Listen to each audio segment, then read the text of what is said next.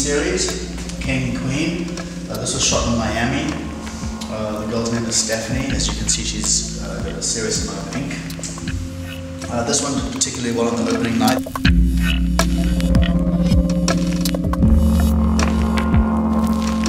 Uh, I think we still have a few left of Queen.